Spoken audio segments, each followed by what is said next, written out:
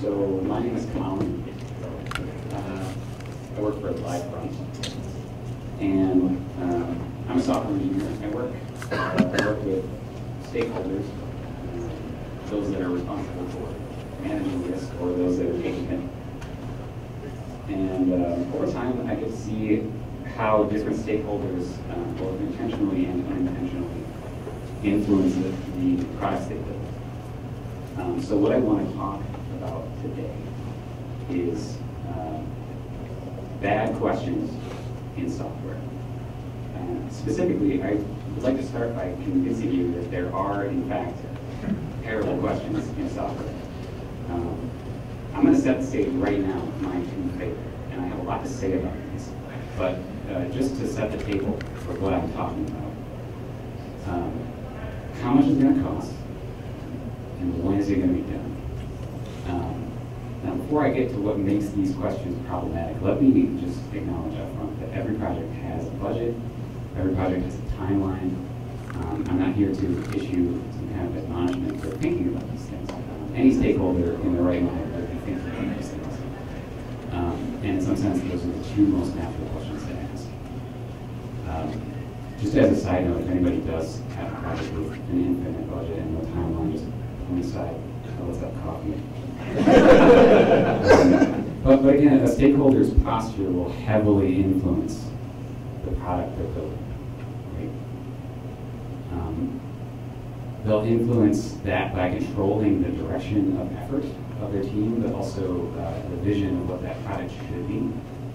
Um, they'll influence the team itself, right? So they can align or misalign incentives.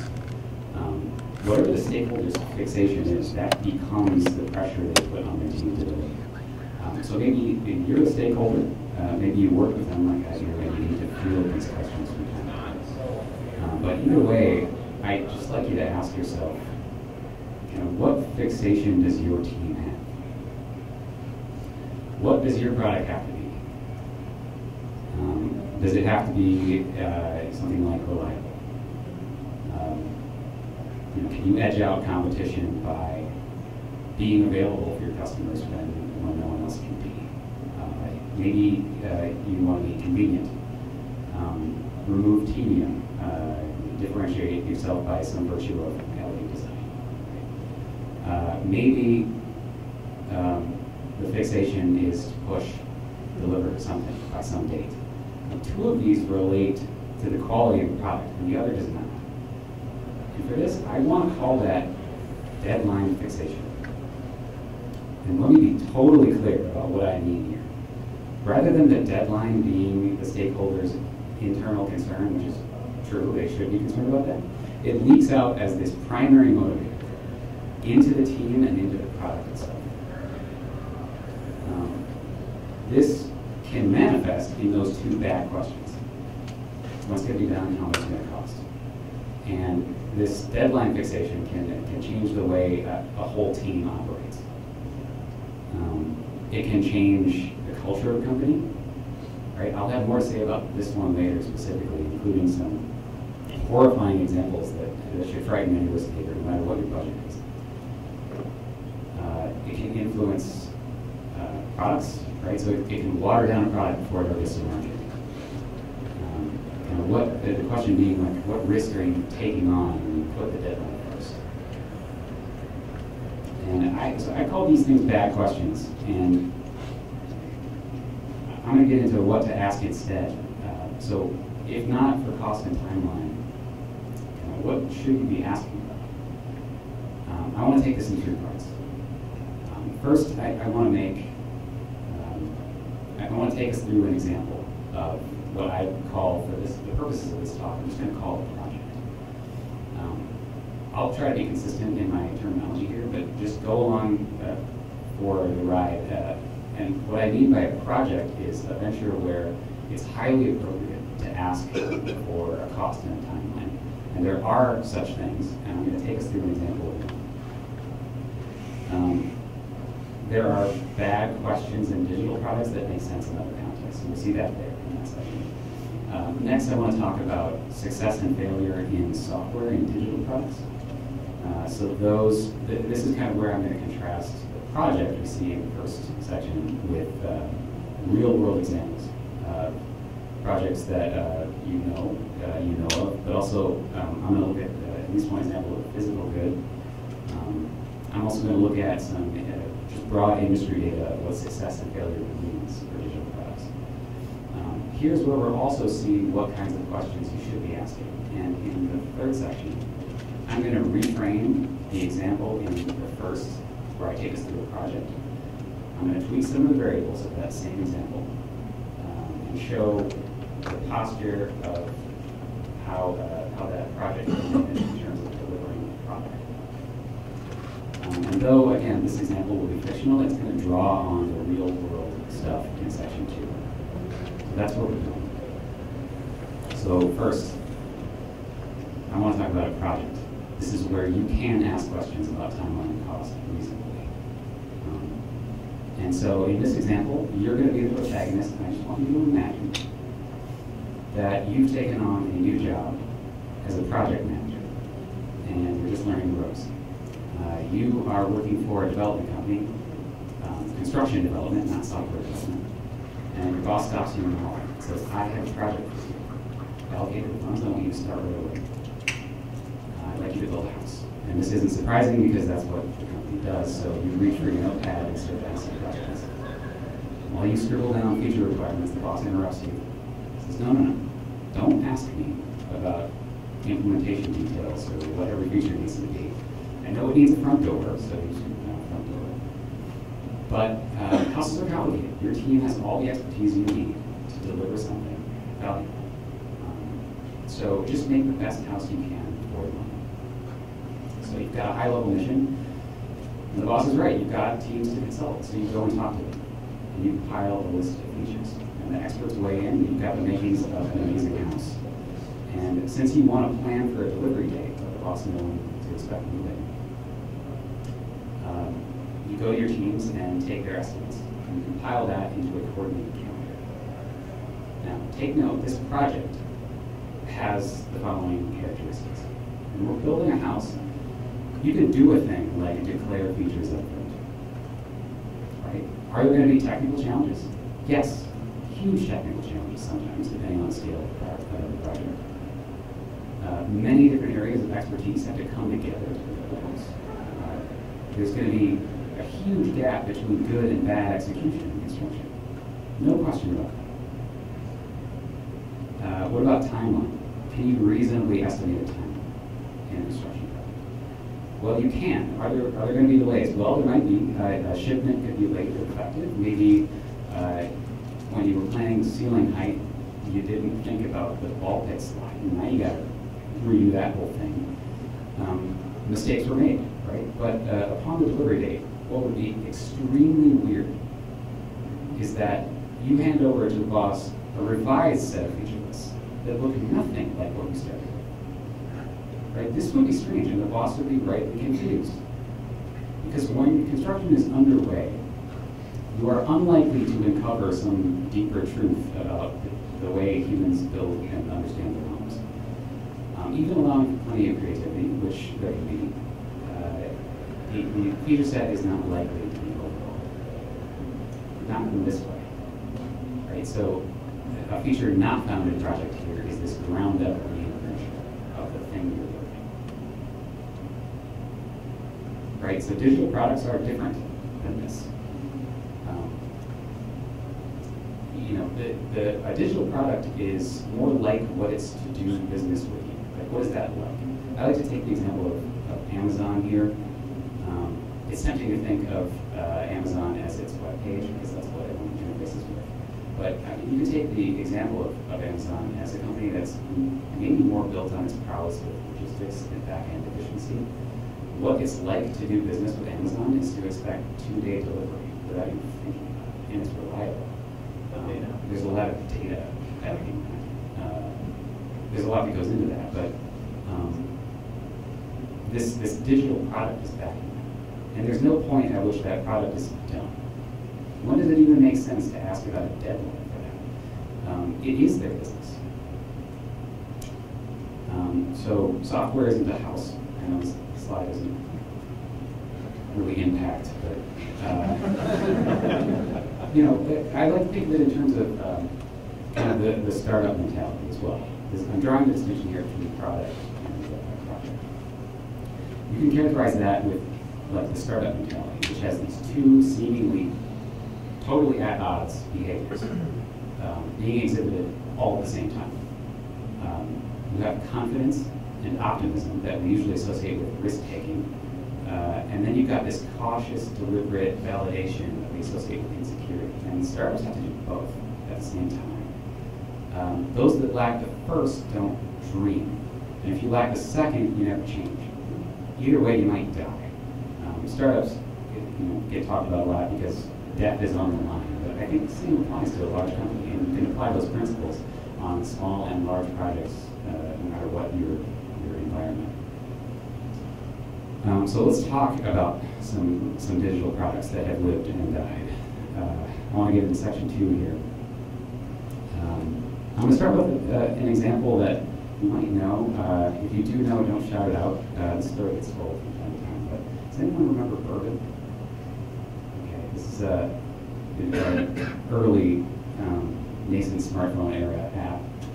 Uh, you probably recognize them by the probably recognize Burbn by its uh, its relaunch name, um, Instagram. So this was uh, Burbn was Instagram's predecessor. Um, it had pretty humble beginnings, right? So this thing is an absolute pile of features. Uh, this was back in the days when people would use the word gamification with straight face. Uh, it had achievements in there, I think. Uh, what? Um, right, so this, this was a uh, Foursquare competitor, if you remember Foursquare. Uh, that's what that looked like. Now, this was based around finding, finding local sort of hidden gems, having a fix on your neighborhood goods, meetups and events. Um, now, like the Burbn UI we just saw a second ago, Foursquare is a grab bag feature. It's really just a shotgun approach to development. Try everything, and see what sticks. That makes sense for the market they were in. This is total uncharted territory, and I don't, I, you know, I don't scorn at this. Like that's what you would do if you're trying to discover something. Uh, so Foursquare had a bunch of features. This list is huge. A to-do list, I like that. This had a to-do list. That's um, it's funny because you mobile app development tutorials these days often are to-do lists. Uh, know if that was a feature in this end. Uh, many of these features found their way into other products, right? So the, the market evolved, but Burbn was more the same. Uh, it had these bloated features, no clear direction. Um, but it, users were in love with this kind of below the fold feature that allowed them to share pictures in real time. We don't think of that feature as being revelatory right now, but it's easy to forget how painful that used to be. Um, just think back to the days where you had a digital camera and the means of uploading photos to anyone was your computer, maybe at a desk somewhere, and they were separated by a USB cable. Uh, suddenly the smartphone comes along and it's got Wi-Fi and a carrier connection, and you can take a picture and instantly share it. Uh, was in on the ground floor of this. Uh, it was something their users were in love with. Um, and this did not escape their notice. Um, so in case you think maybe pivoting away from this pile of features was obvious, it was not. This was not obvious. And it took guts to just go all in on this feature uh, that the data showed. How do you execute on that? How do you build something from that and, and deliver? That, that wasn't clear even then. Um, I don't bring up Instagram in this context because it had hockey stick growth and it made a billion dollars. That growth is very impressive, but I'm not talking about it for that reason. I'm talking about it because any growth at all would have been improbable if its founders had treated Burbn like this uh, sacred list of must-have features. They hadn't been ready to just pivot away, they, they need to treat this like the uncharted territory that it is, um, so do you think Burbn and Instagram's founders were treating this like project or a product? Um, so I'm sure they felt pressure to get this to market. Um, do you think they're fixated on some deadline? Yeah, maybe. I mean, maybe they're worried about costs, but this is where the cautious validation has done its job. And are they about to let it muffle their confident with latching onto this feature that's apparently resonating with users? Um, we know that Instagram is definitely an outlier in a lot of ways. Um, so I, I want to move away from them and talk maybe more about the typical digital product. Uh, you know, what does the industry have to say? What kind of data is out there about success and failure? How is the average venture sort of unlike Instagram? Um, there's a research firm that, uh, compiles some of this data. The Standish Firm. Um, they also do consulting on side, but they publish data about uh, just broad industry uh, about 5,000 projects a year, they say, and I'm going to be referencing their 2015 report, which goes from 2011 to 2015. Um, the reason I'm going to talk about this data specifically is because in 2015, this is where they made a delightful change in how they measure success. But just know that the research we're going through is a compilation of success and failure, what those, how those projects were managed, um, and, and on a bunch of other axes. Um, so first, I'm going to just talk about how they measure success before 2015, and what they changed, and how they measure success after that. What they started with before 2015 was about three metrics. The first was, is the project on time? The next, on budget. Right? So those do make some sense. You, you do want to know those. But their, their third was also this thing they call on target. And they're measuring, in that case, does the end product contain most of the features from the initial estimation? Did you build the thing you set out to build when you started? That's an interesting uh, way to measure success, especially in light of what we just talked about with Instagram. They might have classified Instagram as a failure, or at least or because they didn't have a clear end goal, and they didn't deliver the thing they said they were going to deliver. But then they sold for a billion dollars to Facebook, so I, I don't know, is that success? Um, they changed this in 2015 to now talk about what they call a satisfactory result. This is, uh, in their words, um, you know, did it deliver the customer and user satisfaction regardless of the original scope? This is a beautiful pivot away from a deadline and towards utility. Is the thing actually useful? Isn't that what you want to know? I, I love this. Um, but, right, so let's get into some of their data, but uh, this is just an acknowledgement that deadlines don't supersede something on useful. Um, so what are the averages of this? Um, what we're looking at here is a chart uh, that shows successful, challenged, and failed projects over time uh, as a percentage of all projects that year. So in the successful category, we have those projects that meet all three of the criteria. They're on time, on budget, and have satisfactory results. These challenged ones are the ones that are missing one or more of those three. And the failed ones were scrapped altogether. Um, so we're not seeing anything amazing here uh, in terms of data, but 71% is a high rate of dissatisfaction in that middle challenge column in 2015. Um, so the challenge plus failed uh, there is 71%. That's a lot of dissatisfaction. Uh, what does the Standish Group say about the determinants for the state? What's the biggest factor that leads to challenge or project? And they say it's project size. And what we're seeing here should also make sense. We see at the top grand scale projects, absolutely enormous, huge teams, huge goals. Um, it should make sense that that's difficult to execute on. Grand scale projects just presume to know the unknowable they will drown in an ocean of minutia. Uh, any little thing goes wrong and throw it off. You know, even, even if they get all the details right, they assume to know what the maximal utility is of the end product. And even on a small project like Burbn, uh, it wasn't clear what was going to stick. They had to pivot towards what was promising. Right? So these grand scale projects are very unlikely to do that. So that should make some kind of sense. Um, as they say it, uh, one of our major services to, is to break up large software projects into multiple small projects. So this is getting them further down this chart. uh, that lead to success. Like I said, they use consulting, so they use their data to sell their services. Right? So that's what they say to do. Um, they continue, we found most software projects only require a small team for a short duration in order to deliver value to an organization. Only in very rare cases do projects need to be larger and longer. Most, if not all, large, complex, multi-year projects are unnecessary. So prefer small projects when necessary. That sounds good. Um, they go on to talk about goals, and this is the last one I'll talk about for Standish but I find this one really fascinating as well. They made another reversal here in the way they measure things, uh, or in the way they interpret their own data. Um, the satisfactory result we saw from before was their way to pivot away from deciding if a project was a success based on your initial, uh, what you set out to do. And instead, is the thing just useful? Is it good? That's, that's, they're pivoting more towards that data. And as they did that, the way their, their historical data in, in their database was measured in terms of success and failure changed the way they look at what they recommend your goals be.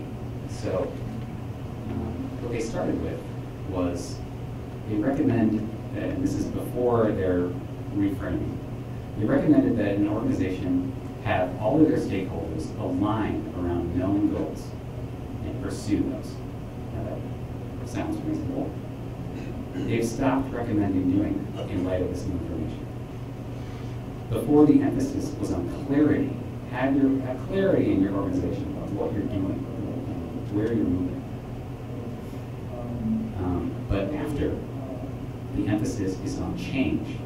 Now, this matches the new satisfactory result So they, they say no more should you focus on having clarity up front.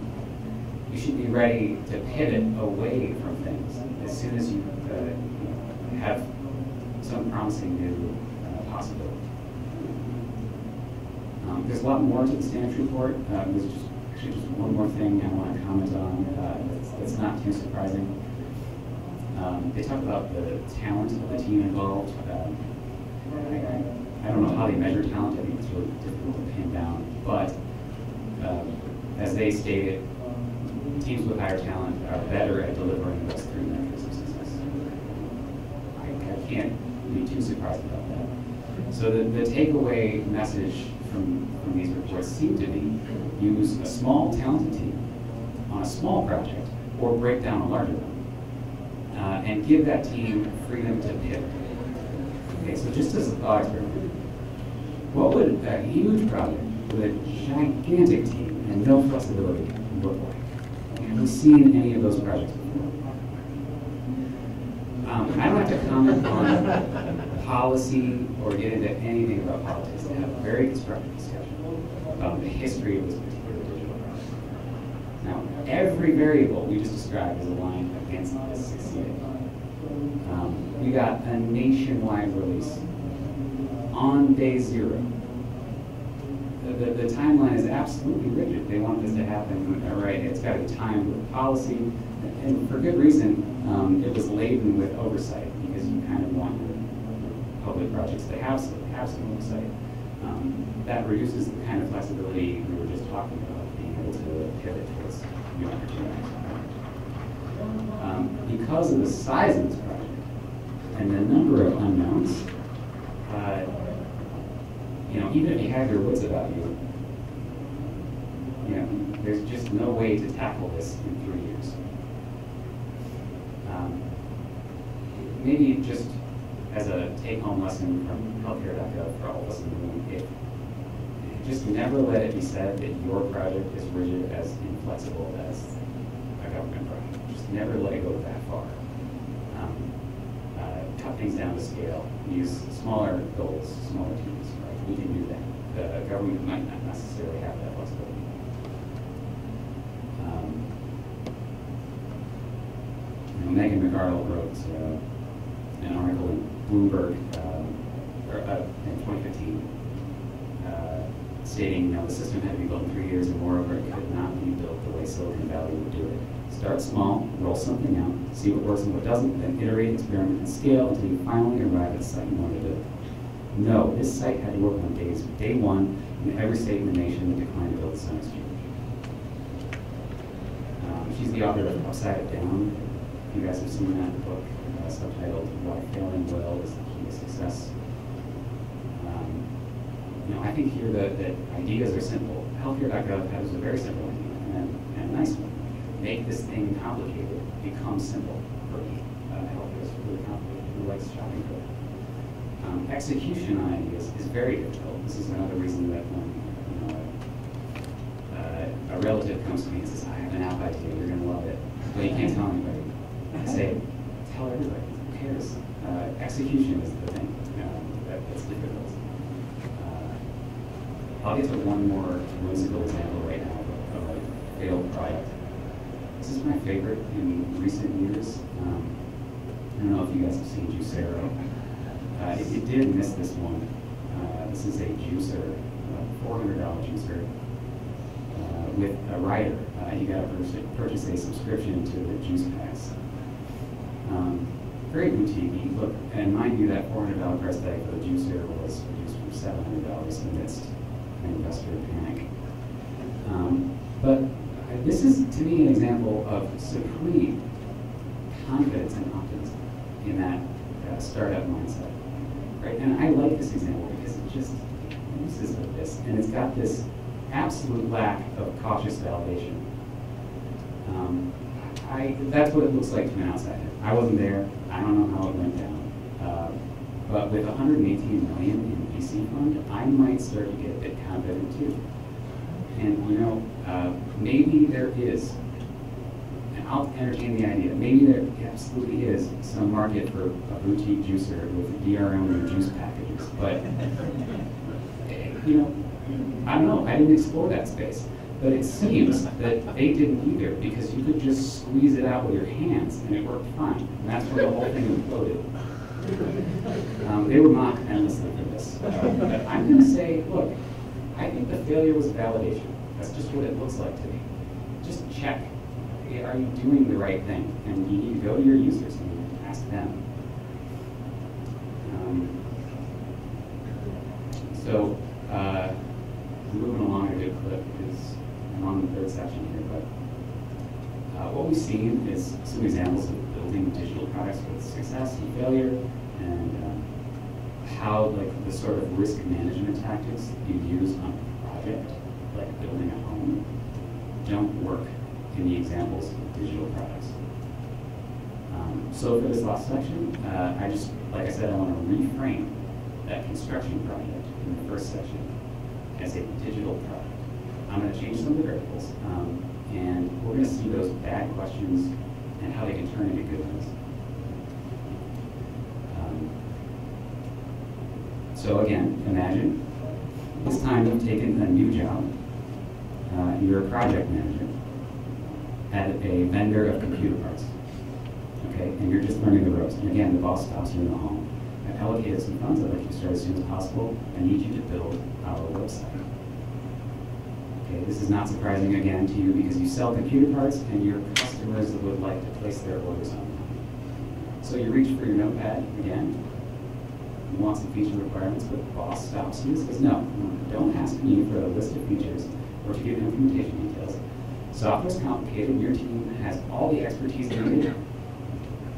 Uh, just work within the budget and get us the best website you can. And so, crap, not gonna work. Um, uh, but since you know the history of Instagram, you know you can't declare all the features up. It wouldn't make sense to write this list down. So you're not going to start doing that. But what you are going to do is make some educated guesses using the data you have. And be ready to pivot the best information at the time. So you analyze your market competition. Uh, you write down some things you think might benefit your website and your business. Um, with your company's good reputation as customer service, I think maybe uh, chat online would emphasize that advantage. And you think maybe customers would like to discover new products in your catalog as they come out, hence some product suggestions for. And maybe you know that this is an enthusiast market of buyers that like to plan their purchases in depth and sort of geek out about it, so a wish list makes sense. Uh, but now what? What do you do?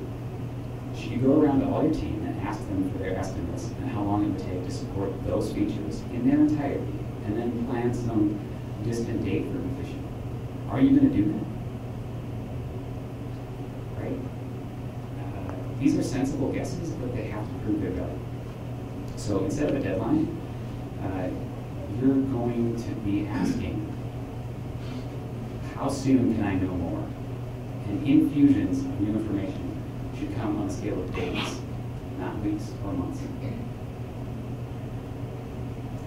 So if you could, and even if you could have set out to build this, this first draft features, while you ignore new information as it comes in, I mean, just ask Juicero how that worked out. Uh, you to follow. Uh, the more you try to manage that risk by locking in all the details, the sooner you will drown in those unknowns. And you have to be ready to contend with those. And if you lose the flexibility to do that, you've failed before you start. It doesn't stop there. There is another crushing cost to asking your team those questions. Much, much worse. Suppose um, in the process of this, your engineers discover a hitch. They can't deliver on one of the core features without overhauling this old legacy system. So, whatever project deadline you planned on is toast. There is no way you're going to make it. So, given that your leaders at your deadline fixated organization are overcome, uh, you know, with that deadlines, you've got a really tough choice to make right now. Are you going to release an unfinished or useless product anyway, but guarantee that your uh, leaders will pat you on the head, give you a bonus? Or are you going to risk your job and wait until the product is useful and release it then? It actually gets worse similar scenario. But suppose, once again, uh, this is a legacy system that needs an overhaul. Uh, but undeterred, you get to work. You jump in. However, your engineers don't particularly find this task fun. And they know that your organization is fixated on deadlines. Do you think they could use that as a lever against you or your leadership? I got one more. Want you to tell me if this one sounds familiar. How many times have you seen a team at a large organization completely reject the idea of working with another team at the same organization, claiming that it would push out their deadlines or jeopardize the work? Even though what the product vision demands is that both teams work together for a holistic solution. This, this right here is deadline fixation coming from every side, mostly from the top down. it puts those teams in a pinch. Um, a team in that situation is most likely being pressured from stakeholders with questions. Questions like, how much is it going to cost? Which has embedded in it the assumption that digital products are built once and completed like a house, right? And, and questions like how is going to be, uh, you know, when's it going to be done? That also carries the assumption that you have all these insights up front. You've declared your feature list, and you, you can now plan what the release date is going to be. Before you've done any of the hard work of discovery and validation. And when you lock in those assumptions, uh, you prevent adaptation to changing market conditions, and you are virtually guaranteeing missed opportunities